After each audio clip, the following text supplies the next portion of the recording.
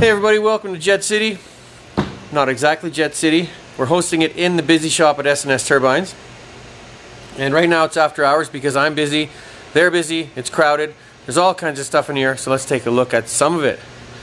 There's a very tired looking thrashed lease engine. It's very dirty. It's in need of some attention and it's gonna get it. It's gonna be very happy when it leaves here. Over here, just across the way, Donovan's working on rebuilding that compressor rotor. There's all the discs and spacers and some of the blades. And what did I tell you about being clean? Look what he's done. Whoa, that is beautiful. And he's starting to build it up now. And he's measuring measuring swash and he's about to measure run out. Then stack uh, the second stage disc. That's the first stage compressor rotors coming back together. And that's a beautifully clean one of one of these. This came out of that tired tired lease engine. It's the same thing just a bit dirty. Right there. Whoa. Let's see the carbon seal race looks pretty good. The bearing race gets slid onto actually that is the inner bearing race the number one bearing. Looks pretty nice Alright. Here's the front frame, looking much the worse for wear. Gonna be totally cleaned, refurbished, happified, made very happy. This is from another 1500 that is much more together, cleaned. Look at the combustors, they're quite happy. Got a ceramic coated nozzle right there. Oh, amazing. Got some turbine cases over there the front frame, a rear frame, a nose bullet pointing to the flag, a gearbox, an angle drive which transfers the axial rotation, the axial orientation of rotation of the main rotor to radial to that angle drive so we can get down to the gearbox and have the starter drive the engine to start the thing. We have a ceramic coated first stage turbine and second stage, third stage. It's all together, one rotating unit. And what we'll be featuring today is a freshly built fire breathing monster. The J79 afterburning turbojet which will be tested in a couple of weeks and I'll do my best to be there to film it for you or video it. I can't promise you that because I'm not everywhere all the time, but I will try to be where this engine is running. And here is another example of a turbine. The same turbine that is right in there. The turbine cases. There's actually one stage there one stage there and one stage there. And these bolts hold the stator or nozzle rings in place. The first stage nozzle you saw just a minute ago the ceramic coated one is attached to the back of the combustion area. So this is the turbine case. That's the rear frame. That's the afterburner fuel manifold. Flame holder somewhere in here. The afterburner jet pipe or tailpipe is in here. These are the actuators which control the variable nozzle. We'll see all of this in action once again when I video the test. And here's the front of it. We just saw a fairly good detail of the VSV system actuating the hydraulic ram, one on each side of the engine. Controls the position of this master link which through this rod controls the position of these links which are connected to the actuating rings of all the different variable stator vanes and I was trying to show you this which is the protractor which shows the angular position of the master stage of VSVs. Very cool. This one has a slightly different nose bullet with the starter pipe going in here. The starter of this engine is right in the nose, whereas with the 1500s, the starter attaches, actually start right on the front. Yeah, right on the front. Cool. Okay, let's get to it. So our first question is from Bojan Blazevic. Bojan Blazevic. Why does it seem all the engines you work on are really old? E.g. this engine, the T58, the J79. Surely improvements in efficiency, reliability, performance, materials over the last 40, 60 years would justify purchasing a newer engine. Is it just the case that development effort has been focused on turbofans? It boggles my mind. Well, boggle no further. Because for aircraft, yeah, the development has been focused solely on turbofans. Um, these aren't, well, this, this is an aircraft engine. But uh, for industrial engines, you got two things going for you. Uh, the advances in engines that make them better for aircraft don't make them better for industrial engines. We've covered all of this before. This is probably the last time we're going to cover it. Speaking of which, uh, if you've asked a question that I've answered before, sometimes I look it up in the index, but I really hope you guys do. So I'm going to start basically fading in a policy of just ignoring them if they've been asked before. So you'll know if your question's been asked before because I just don't answer it or even refer you to the video where it is answered. Um, what makes a high performance fighter jet engine does not make it a good industrial engine. Also, the industrial engine is based on a certain power and size of engine, whatever that was in 1960 or 1950 or 1970. So it's a certain exact length, diameter, and power level. That changes with aircraft engines and the aircraft, the industrial engine may cost several million dollars. But what's really expensive is the installation into which you install it, that you plug it into. The power plant, the factory, whatever it is. So, now you want to upgrade to a new engine. First of all, you're going to spend more than $10 million for your engine. Then you're going to spend $100 million reconfiguring the installation to accommodate that engine for 10, 20, even 50% increase in, in efficiency, it's going to be a long time till it pays off and covers the huge downtime it costs to reconfigure all of that. So would you rather spend a half million dollars or $125 million and be down for several months? That's the that's the uh, decision. So it's pretty easy to make. Um, so hopefully your mind isn't boggling too much.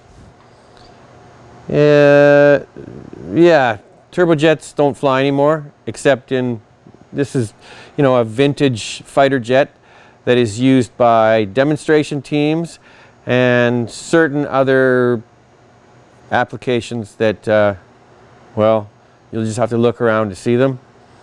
There's lots of uh, video footage on YouTube and there we go. If it, or, oh, and efficiency. Efficiency is just a ratio of something to something. Miles per gallon, smiles per dollar, um, calories per mile, whatever you want to call it. It's, uh, it's just one number over something else. So efficiency for a lot of people is miles per gallon, um, but it doesn't have to be. So it's just a mathematical ratio of something to something. How many times you laugh versus how many, how many hours you watch TV. That's the efficiency of laughter per TV hour, if you want to call it that. Anything you want. So efficiency means nothing unless you define it. Um, good question though. Hopefully your mind isn't too boggled. That's why all the engines, well, no wait, why are all the engines old? Well, that's right, because the newer industrial engines are not what the ones we specialize in. We have a sort of a niche market that we're in and the newer engines are usually much larger, bigger than our facility can handle and vastly more expensive. So uh, we're in our, in our comfort zone. That's what we do. That's what we do. And two is by Dodge Wrench. Dodge wrench. I bought a salvage supercar, but it has no engine. So I decided to put a turboshaft engine in it. But my question is, how can I reduce the jet lag? Um, I don't think he means jet lag, do you, Dodge wrench? Jet lag is when your body clock is out of sync when you travel through time zones on some form of transportation that gets you there really quickly, usually a jet. Um, I think you mean throttle lag or turbo lag or lag in response compared to input from the, the control, the operator, the pilot. And I got to say, if you're thinking of a T58, and we've seen the T58, it has a free power turbine. So the gas generator of the engine blows hot air into a free spinning windmill that's connected to a gearbox. And that's the engine that's in the race boats. I've been in one of the race boats and when the engine's up to operating RPM, anywhere between 85 and 100% RPM, 105 really for the racers, when he stomps his foot on the throttle, it's like uh, you're yanked forward, like a solid mechanical chain wrapped around your neck. There's not a single bit of turbo lag or engine lag in any way. As a matter of fact, if they slam that throttle down hard enough, it feels like you've been hit from behind. So no worries there. No worries there. There's a jet engine lag if you buy the wrong kind of turbo shaft, which is a single, a single shaft, where the a lot of people think this is more efficient, and it's not. What does efficiency mean again? It's not more efficient in transferring the power made to the wheels compared to the power made by the gas generator. Efficiency of power out versus power generated by the fuel. It's no, mo no more efficient. A single shaft turbo shaft engine has the turbine and compressor and output shaft all as one connected to a, a gearbox. This is much slower to respond because rather than the speed of the output shaft being independent of the gas generator, for example, on a T58 you can hold a brake down and the output shaft is zero you're on the line waiting to take off and your gas generator is pinned at 100%. You let off that brake and you're a dragster. Okay, so the single speed, your wheels, your gearbox, your output shaft, your turbine, and your compressor are all on the same shaft. So you've got to turn all of that to start the engine. So there should be a mechanical clutch in there somewhere. But your engine now, your engine has to spool up. Certain types of single, single spool turbo shafts, the whole engine has to come up in speed and that takes a couple seconds. And if you are engaged in your drive system at idle and now you floor it, the whole thing slowly comes up to speed. I'd call that lag. That's not what you want to do.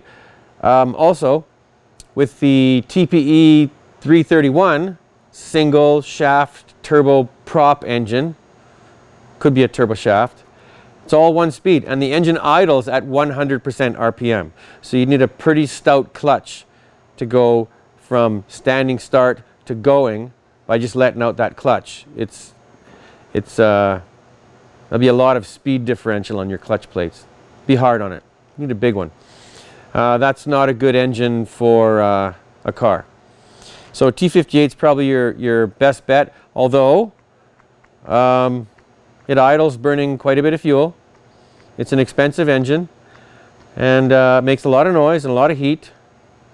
So as a race car, sure. As a car car, driving a car, supercar, yeah, it's 1300 horsepower, but really impractical. If you build it, please video it and let us all see your grand adventure. It'll be really cool.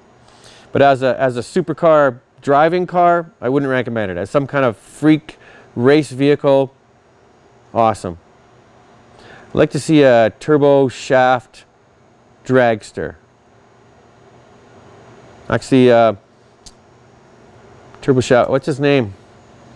Krugtech. Krugtech, you've got to see his van. It's like a Dodge Caravan with a Nimbus in it, 700 horsepower turbo shaft, free power turbine. And that's exactly what he does. He holds the brake on, and he floors it and the engine's screaming. Light goes green, take off the brake and it just rockets down the down the, the strip or down the highway. Very cool. Krugtech. jet powered van. It's out there. All right. That was good from Dodge Wrench. Hopefully I helped to ridiculously answer or possibly non-answer your question. Here's one from Nathan from Australia. I have two questions for you. How does one get into this field? I'm a computer engineer who loves mechanical work and electronics and looking for a career change. Secondly, is it possible for you to a video for you to do a video on the complete teardown and assembly of an engine? Second question, no. This engine has been in the shop for four months. Four months. Three people working on it. Four? Four people? And other people helping. So for me to video a full disassembly and assembly of an engine in the shop, first of all, I would have to quit my job and do nothing but video all day long for four months. Second of all, I'd have to spend another four months editing or four hours of each day editing. Um, then what would I have? I would have a video that was uh, 16 hours long that you wouldn't want to watch. And uh, no, no, no, no, no, and no. It's, it's just not possible. The people working on it don't want to be filmed. They don't want to be bothered. They don't want me hovering around them with a camera. And if I was to do it of an engine I was working on, it would double the time it takes to do it. It's just not worth it. It's not possible. And you can't put a camera up in that corner and leave it on because four months, then you have so much footage. What do you do with it? Um, no. Sorry. That's like taking a time lapse, a single time lapse video of, I don't know, building a city. It takes too long. There's too much content. And what for? There's three or four people have asked for that and it's just not going to happen. The people that want to do that might be in a big factory where it's happening faster and there's dedicated camera crews and it's just, just too much. It's too much for just one man or one person or one technician of any kind. So uh, that's never going to happen. Sorry. The closest thing I did to that was with the Orenda 14 over probably about a year about a year. I filmed, I made about a dozen videos all connected together of the of the pro procedures of tearing it apart, inspecting it, refinishing it, repairing it, putting it back together and testing it. It's all Orenda 14. I think there's a playlist called the Orenda Turbojet. It's mostly in there. Closest you're going to get. How does one get into this field? Like any other field. If you want to be a fireman, or a painter or a x-ray technologist or a hospital administrator or a school principal or a baker or a pilot. How do you do that? If you're ever going to be that thing, you can figure it out. If you can't figure out how to start, well, start by asking questions. And I guess this is a good one. How do you get into it? Start looking into, start doing Google searches in your area, let's say with your state, country, province, whatever, and jet engine. And then put school or jet engine training, Australia. You're from Australia. Jet engine training, Australia. Sounds good. Start there. And you will get a nugget and you just keep following those nuggets and you will find where you, what you need to do and where you need to go. That's how you do That's how anybody does anything. Yeah.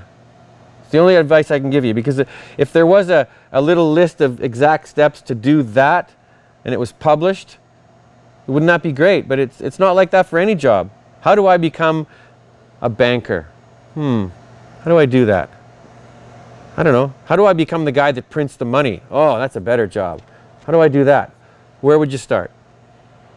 Just like anything, start looking and you'll find it. That's what I did. That's all I can tell you. I started looking into jet engine maintenance, aircraft engine maintenance, schools, found a couple, contacted them, asked about programs, found out about programs, when they start, how much they cost, what they involve, what the job market is. Zing. Got started, way you go. Good question. I don't know if I answered it at all, but uh, Hey, I tried. Fourth question is from Aether. Like Arthur, except for an E where the R would normally be, if it was Arthur.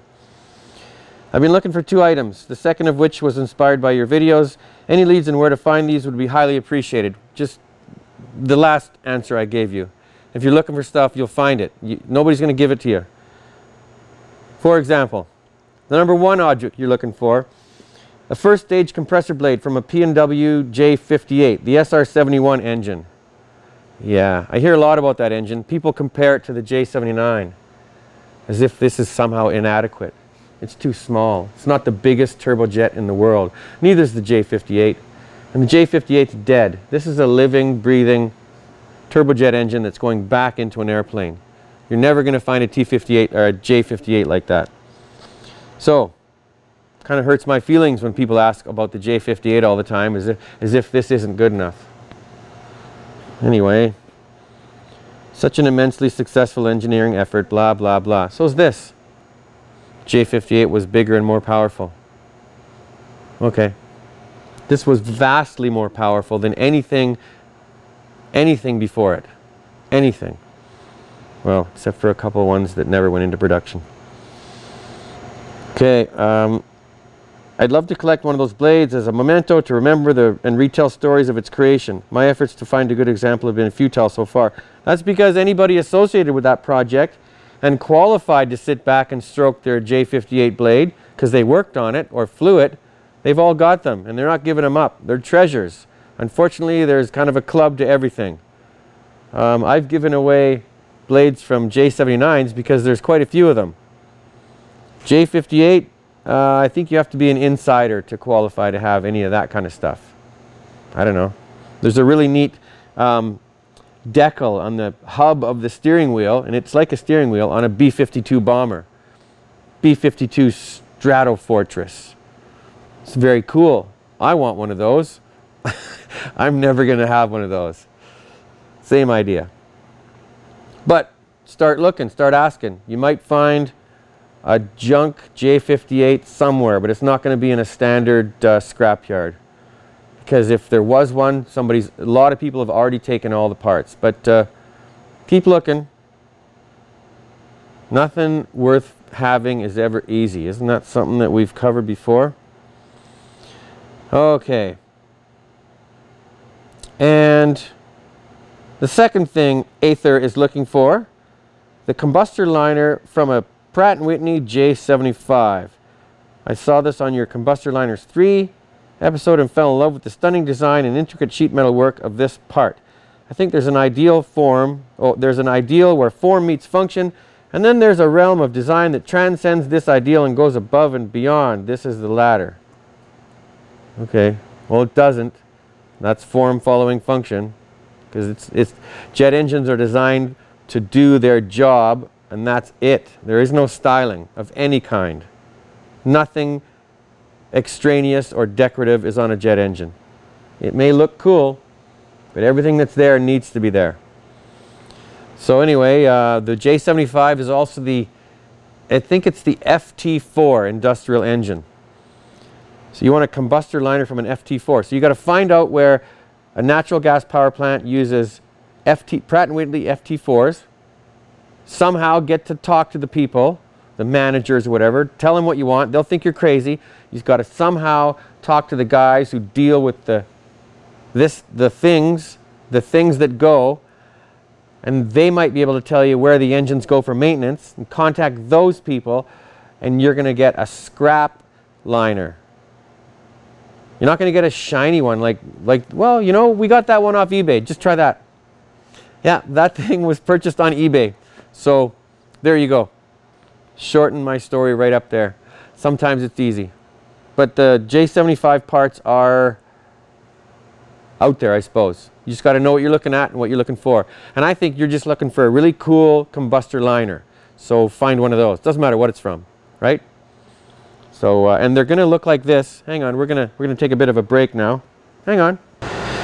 Okay, your scrap combustor liner is going to look like that. Okay, it's going to be that color. It's going to be the color of rust and dirt. That's what they look like.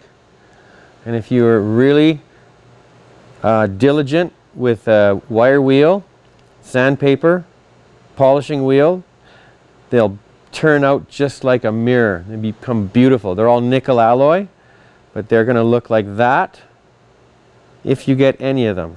All right? Super good. So there you have it, Ather. Aether, Ather. A little bit of work and you'll find something. Uh, nothing, nobody's going to hand it to you. You might get lucky to find one on eBay, but if you check eBay every couple days, might take you a year, might take you three years, but you'll eventually come up with something. And then it's up to you to make it look really cool.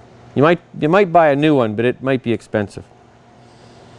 Uh, those combustor liners, new price from the manufacturer would be over $10,000 each, but you can get them through other deals especially if they're scrapped or broken or cracked or whatever and you want to make an art project out of it you can clean it up real nice and it might be just a few bucks.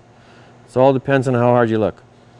This is one of the actual combustor liners featured in my video. I think it's uh, combustor liners 3 anyway it's from the Spey and this thing this is about a half an hour of elbow grease but it wasn't that difficult because there was only one thing I used to clean this up Okay, only one tool. You could use brushes, sandpaper, Scotch-Brite, polish the whole thing, but I used a die grinder with a little wire brush on the end. Now you can buy these at a hardware store, and you could use this in a drill, it would just take longer.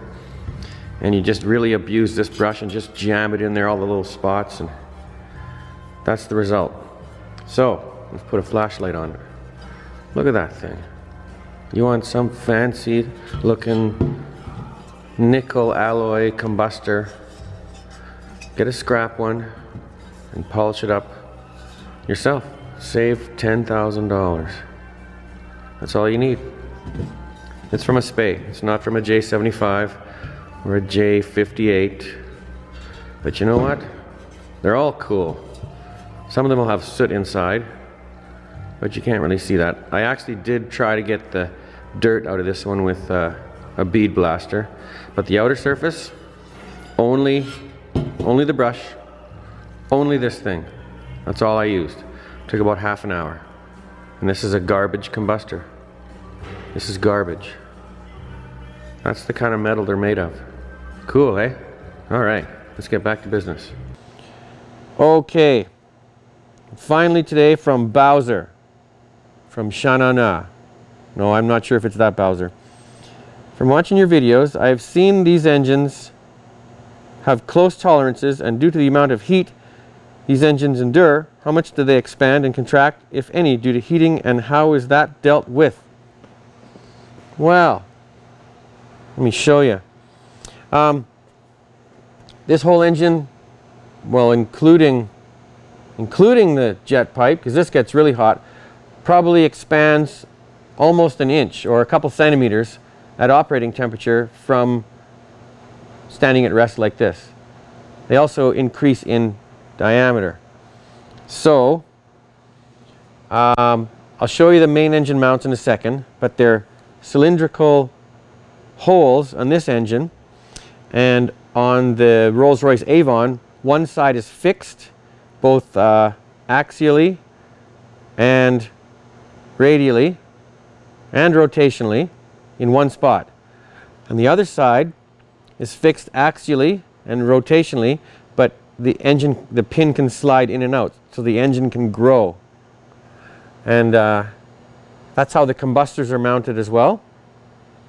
The combustors are usually mounted by one pin in one location, and then so they can move around and grow and stretch because if you bolt them into place in four or five different places like you'd bolt down an engine, for example, in a car, it'll crack because it expands and moves around so much. There's so much heat in these things.